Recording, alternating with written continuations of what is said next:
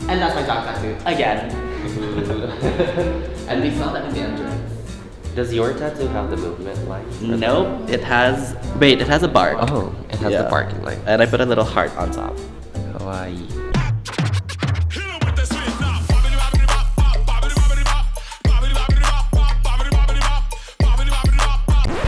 Very first collection of our founder Nakamura, 1987, Wow. December 28th. He went to the New York. He saw this artwork, and this is the beginning of our museum. Mm, oh my god, that's so cool. This is before he started drawing in Subway, Oh. and actually this disappeared but before he died he like remake it and in this size it's actually a notebook size Yeah, because I noticed it says 90. yes So it's like the one of the more recent ones, right?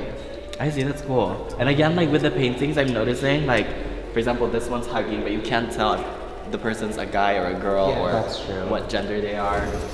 People hugging each other or like doing this like this this arms Uh-huh. like this. I think it symbolizes like harmony and like connections between people. Oh, look at this. Stewie, stop. I didn't notice it No. at first glance. it's like very sexual, but not in a sexualized way. It's like sexual in a very normalized way. Yeah. It doesn't feel inappropriate Yeah. in a way. Right? I really like the red bottle of water. you can see that there's a lot of water in that red bottle of water. Red water. I want to take a sip. this, I think, symbolizes that people come from sex, and sex has to be normalized. Because look, there's a huge dick, but people are coming out of it. So he's basically saying, in my opinion, he's basically saying that sex shouldn't be taboo because without sex we wouldn't exist. That's true. Ooh, yay, yay. and you can tell that he drew it while it was on the thing because it's dripping. Yes, He yes. didn't put it on the floor. good point That's true. good point Nice observation. Nice next page here he also used a poster to tell that art is for everyone. Mm-hmm. Because poster you can see it anywhere. This these posters are for children. Whenever I see Keith Haring write things, Yes. I'm like kind of amazed or like kind of get confused because like you said, there's Yes. no writings in a lot of his art. Yes. But he also makes it very available for everyone by making it so obvious as well. Like it just says, start reading. He doesn't make up any like, you know, captions. Yeah. Yeah, he's Yeah. just like, start reading. And like here as well, safe sex. Like Yeah. it's so ignorance equals fear. Free South Africa. It's so simple, so it's like accessible to everyone. Yeah, you don't have to like guess the meaning. So like his range is very wide. Very yeah. wide.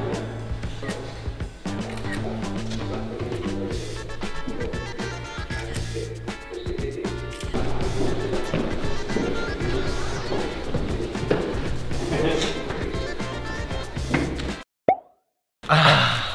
So what do you think about the museum? The museum made me feel a lot of type of ways. Mm-hmm. Honestly, I have been here before, mm-hmm. but in a weird way, I didn't know what to expect this time around because I feel like compared to last time, I had more time this time to like look at all the art and stuff. That's true, that's Yeah. true. What was like your biggest emotion you felt throughout all the? I felt multiple emotions, like mm-hmm. depending on each room. Like I think with the dark room, like the very first one, Uh huh. I think it felt um, in a way like you could feel Keith Haring's like legacy almost or something in that room, and you could feel like what he was trying to convey. I think in his life. Legacy. The word of the day is legacy. That's true. Since that was like the final chapter, or something, like it was the first room. That's true. Isn't it so cool that we started with the final chapter? Yeah. After that. Wait, we start with the end and we ended with the start. Right? Oh my god. remember? That's true. That's true. Stan, what was your biggest emotion? Well, my biggest emotion, Stewie, is inspired. I would say I was very inspired because, of course, I do art as well, but in a very different way. I'm like a content creator online and with my content as well. And what I resonated with Keith Haring is through my content and through my passion, like Keith Haring, I'm able to be an activist of what I stand for and believe in. And I think just being like a queer content creator online is already an activism on its own. Just being myself is an activism on its own because it showcases who I am and shows people that there are people like me. It also inspires people like me to be themselves and it is okay and people can succeed. And that's what Keith Haring does as well with his art. He's not necessarily like going out of his way to be an activist, mm-hmm. but it is what he believes in. He does all this art and it translates into activism. That's true. Another thing I felt about his artwork, like as a gay person myself, like it felt very. Wait, you're gay? Wait, Are you? but yeah, like as a gay person myself, like it felt very liberating in a way, or like very nice in a way that like a big artist is like not hiding his sexuality in his artwork.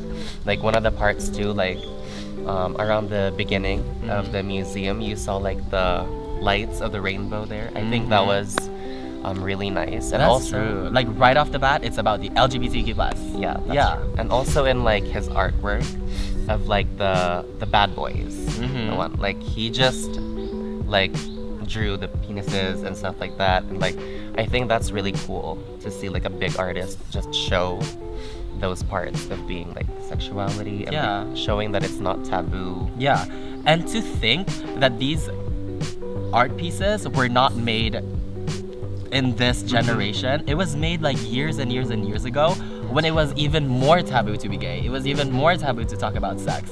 But he was not afraid of that. Mm-hmm. And somehow, like, his way of thinking is very ahead of its time mm-hmm. because his ideologies fit the now. That's true. Yeah, it doesn't necessarily fit when he was making it. Mhm. So, in a sense, with his art, I feel like he might have been a pioneer in the gay art community. That's true. He's a very big inspiration to a lot of artists. Not only like painting artists, but artists like you and me. Mm-hmm. Because we are artists in our own way. That's true. I, So it's through art like this, like Keith Haring, and through museums like this that showcase that art, um, people are able to see the diversity and uh, everything is more normalized. Yes, because I'm sure a lot of people who I'm sure a lot of people who would come to this museum at first would be like, oh my god, this is so nasty. Like, Yeah. why are there dicks everywhere? But I want you guys to know that everything is intentional, like we said, and everything has meaning. I'm sure Keith Haring wasn't doing this to be like, because he was horny or anything. Mhm. There's actually like a meaning behind everything. I think for me, it inspired me more to be myself every day. Yeah. I, think there's still that feeling of like being scared to let it all out. But I think like being in the museum today made me realize like it's okay. Like there's nothing to be scared about. That's true. That's true. I would rate this museum a solid 10 out of 10. So, yes, I would suggest everyone to come to Keith Haring Museum, the Nakamura Keith Haring Museum in Kobuchizawa. See you here! See you here.